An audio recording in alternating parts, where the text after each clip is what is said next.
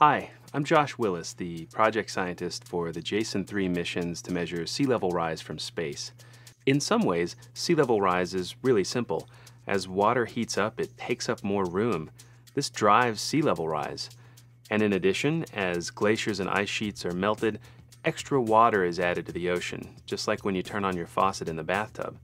Over 90% of the heat trapped by greenhouse gases is being absorbed by the oceans. When that happens, seawater expands, and this helps drive sea level rise. Hundreds of millions of people around the world live on coastlines that can be threatened by rising seas. This animation shows how sea levels have changed over the last 23 years. Globally, sea levels have gone up by about 6 centimeters during that time, but it doesn't happen all at the same speed everywhere. Some places are rising faster than others, and some places are even falling. Orange and red colors mean that sea levels have gone up in these locations, and blue and white means sea levels stayed the same or actually fallen.